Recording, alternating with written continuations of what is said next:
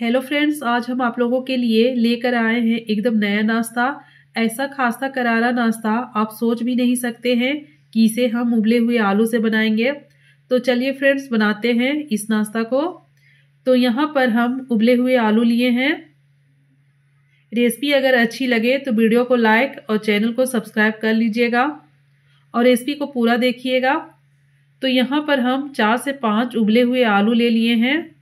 थोड़ा सा ठंडा कर लिया है तो इनको ग्रेट कर लेंगे। तो यहाँ पर हमने छोटा वाला ग्रेटर लिया है। आप चाहे तो मोटे वाले भी ले सकते हैं, लेकिन छोटा वाला लेंगे तो ज़्यादा अच्छा होगा। इन आलूओं को हम कद्दूकस कर लेंगे, और ये देखिए सारे आलू बढ़िया से ग्रेट हो गए हैं। कोई भी गुठली या लम्स नहीं है आलू में। अब इसके साथ क्या करना है? इसमें हम ऐड करेंगे ब्रेड क्रम्स तो तीन ब्रेड को हमने ब्रेड क्रम्स बनाया है। तो मिक्सर जार में डालकर चला लीजिएगा। ब्रेड क्रम्स रेडी हो जाएगा। दो चम्मच सफ़ेद तिल डालेंगे। आधा चम्मच कुटी हुई लाल मिर्च डालेंगे। आधा चम्मच साबुत जीरा। थोड़ा सा हरा धनिया।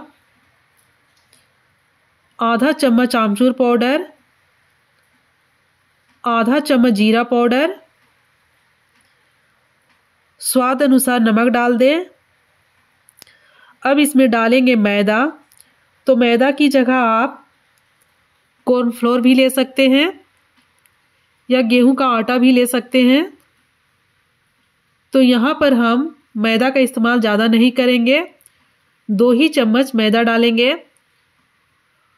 और सभी को अच्छे से मिलाएँगे। यहाँ पर आप और भी कोई मसाले डालना चाहते हैं तो ले सकते हैं। मैगी मसाला भी डाल सकते हैं। तो ये बहुत अच्छे से मिल गया है।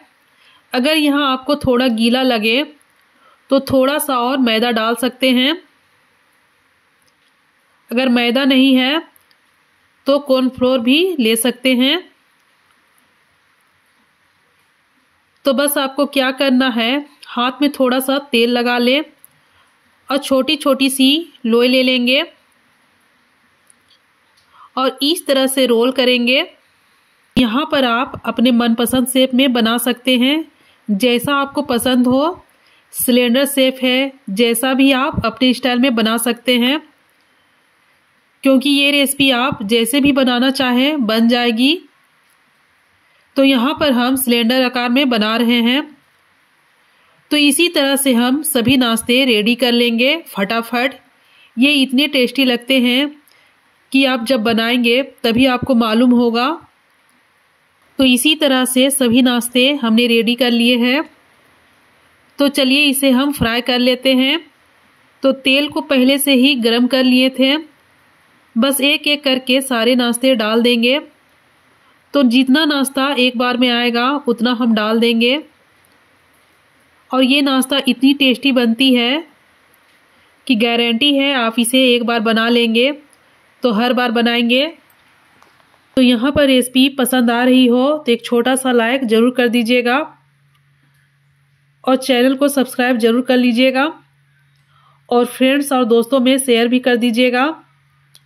फ्लेम को हमने यहाँ पर मीडियम टू हाई में रखा है। एक बार में जितना नाश्ता आए और आसानी से अलट पलट जाए, उतना नाश्ता हमें ऐड कर देना है। तो आपको एक बात का ध्यान देना है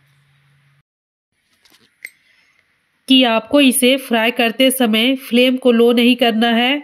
इसको मीडियम टू हाई के बीच में ही फ्राई करें।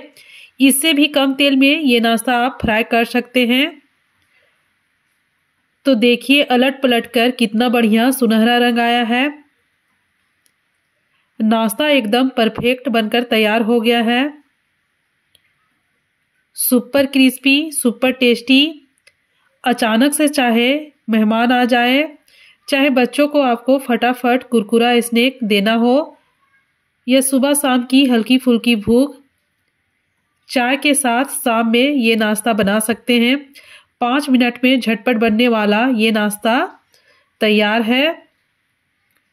अगर आपको कुछ नया नाश्ता बनाना हो तो ये नाश्ता आप ज़रूर ट्राई करें। ऊपर से क्रिस्पी, अंदर से टेस्टी। अगर रेसिपी पसंद आई हो तो वीडियो को लाइक, शेयर और सब्सक्राइब कर लीजिएगा। तो मिलते हैं नए दिन, नए रेसिपी के साथ।